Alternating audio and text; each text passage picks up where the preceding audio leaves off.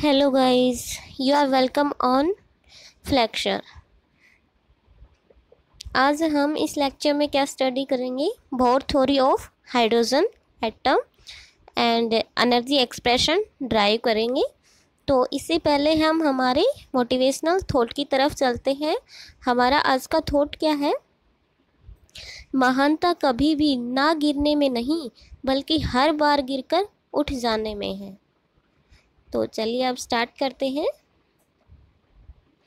हमारा लेक्चर है Bohr theory of hydrogen atom तो सबसे पहले हम इसके बारे में पढ़ते हैं, क्या है Bohr theory Niels Bohr succeed in explaining the observe hydrogen spectrum on the basis of two postulate जो नील बोर्स थे, उन्होंने दो पोस्टुलेट्स के बेस पे हाइड्रोजन एटम को क्या हाइड्रोजन स्पेक्ट्रम को क्या किया था?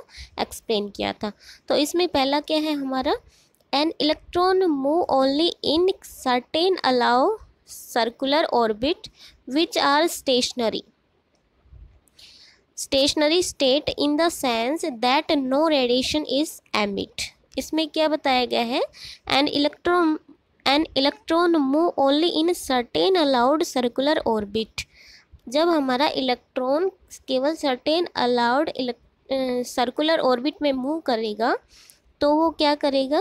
Which are stationary state in the sense there are no radiation is emitted ये जो हमारी क्या है? ये एक स्टेशनरी स्टेट है।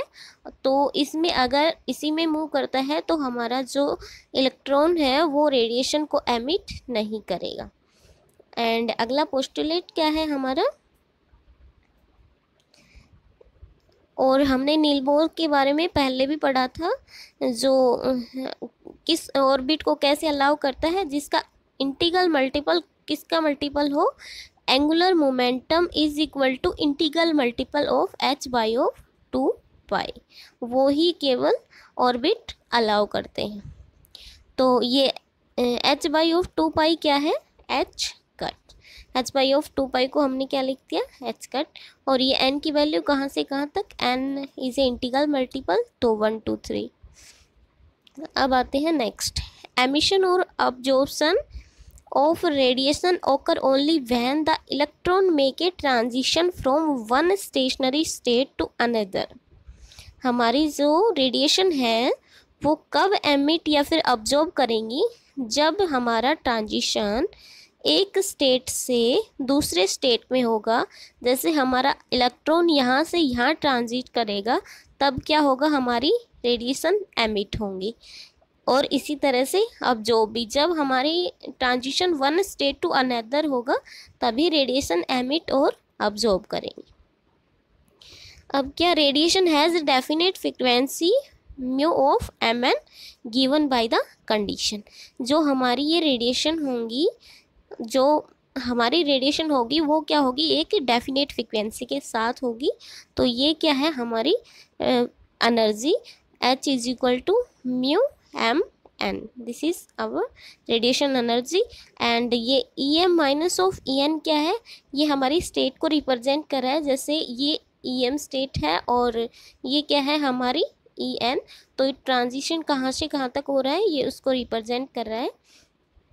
Where em and en are the energy of the state, m and n respectively. अब चलते हैं इसकी एनर्जी एक्सप्रेशन पर।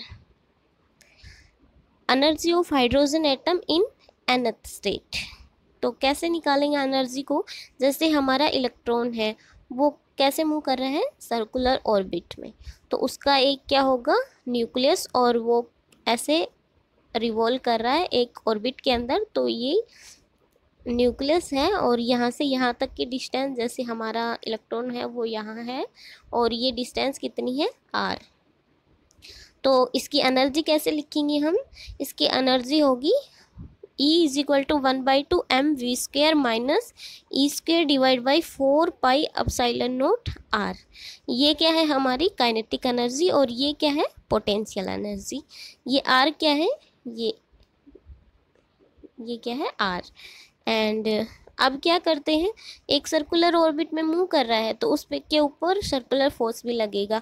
M V square divide by R equal to E square divide by four pi epsilon naught R square अब यहाँ are से are क्या हो गया? कैंसिल हो गया और हमारे पास E square upon four pi epsilon naught R की वैल्यू आर की क्या वो आ गई? एम वी स्क्वेयर अब हम इस एम वी स्क्वेयर को कहाँ यूज़ कर देंगे? यहाँ पर यूज़ कर देंगे। तो हमने इस एम वी स्क्वेयर को यहाँ पर यूज़ कर दिया और हमारे पास क्या आया?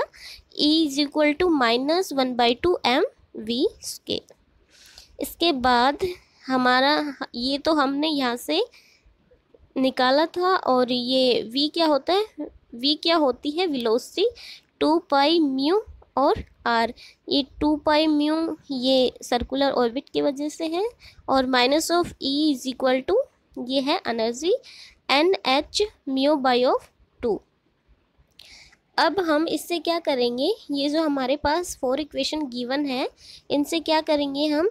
ये जो इक्वेशन थर्ड एंड फोर्थ है, यहाँ से हम म्यू को रिमूव या फिर एलिमिनेट करेंगे। तो कैसे करेंगे? हम थर्ड से म्यू की वैल्यू निकालेंगे एंड फोर्थ इक्वेशन में पुट करेंगे। थर्ड से हमारी म्यू की वैल्यू निकाल ली क्या आई? Mu is equal to V upon two pi R अब हमें, हमने इस वैल्यू को किसके अंदर रख दिया? इक्वेशन नंबर फोर के अंदर। N H V by two into two pi R ये वी और divide by two pi R किसकी वैल्यू पुट कर दी म्यू की। और हमारी ई e की वैल्यू क्या आ गई?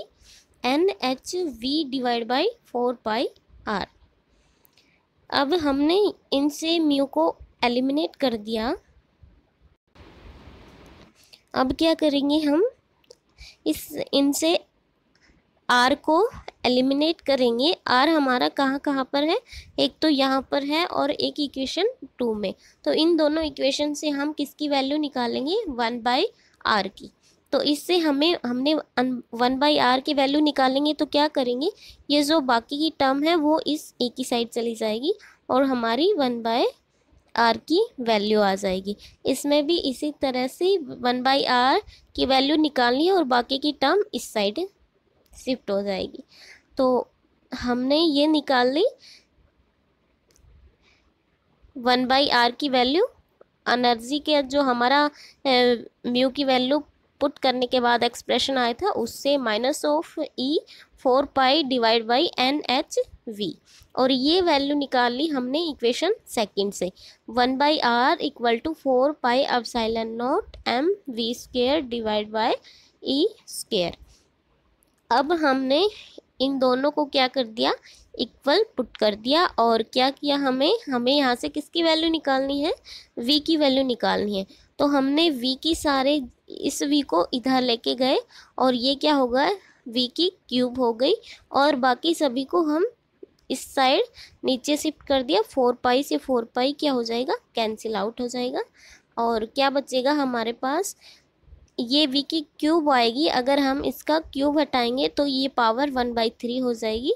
Minus e e square divide by n h epsilon nought m ये किसकी वैल्यू आ गई? हमारी वी की वैल्यू अब हम इस वी की वैल्यू को क्या करेंगे?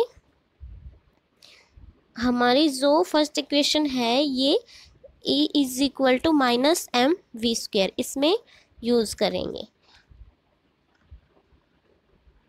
हमने क्या कर दिया? वी की वैल्यू माइनस वो जो ई e की वैल्यू थी e is equal to minus m v square उसमें यूज़ कर दी one by two one minus one by two m और वी स्क्वेयर की जगह ये वी की वैल्यू रख दी और इसका स्क्वेयर कर दिया तो पावर कितनी आ गई? टू बाई थ्री अब हमें यहाँ से क्या निकालना है? ई e की वैल्यू निकालनी है, हमें तो एनर्जी का एक्सप्रेशन चाहिए।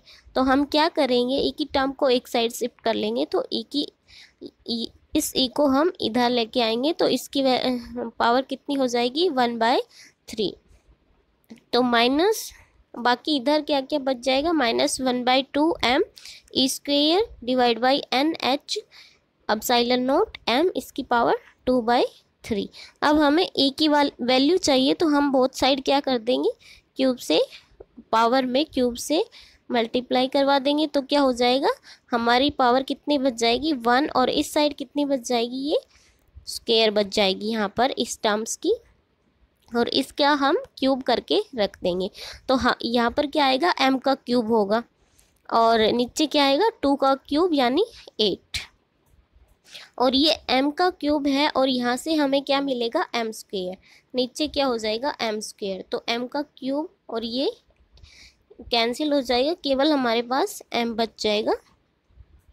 और ये हमारे पास क्या आ जाएगा? एनर्जी का एक्सप्रेशन आ जाएगा।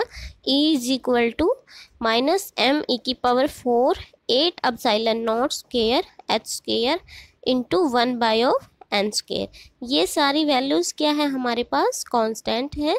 इसकी वैल्यू हम पुट कर लेंगे और हमारे पास क्या वैल्यू निकल के आएगी? Minus thirteen point six divide by n square और इस एनर्जी एक्सप्रेशन की क्या वैल्यू सॉरी क्या यूनिट होगी? इलेक्ट्रॉन वोल्ट तो ये हमारा है एनर्जी का expression E is equal to minus m e की power four divide by eight epsilon nought h square into one by n की क्यूब हम इस एनर्जी एक्सप्रेशन को एच कट की टर्म में भी लिख सकते हैं। एच कट की टर्म में लिखेंगे तो क्या होगा? एच की एच कट की कितनी वैल्यू होती है? Sorry h cut is equal to h upon two pi तो एच अपॉन टू पाई रख देंगे तो हमारे पास इसमें आ जाएगी ये वैल्यू एच कट की टर्म्स में आ जाएगी। तो आज के लेक्चर में इतना ही। आगे आने वाले अगले लेक्चर में हम हाइड्रोजन एटम की रेडियस एंड इसके स्पेक्ट्रम के बारे में डिस्कस करेंगे आगे आने वाले लेक्चर में। So, thank you for watching.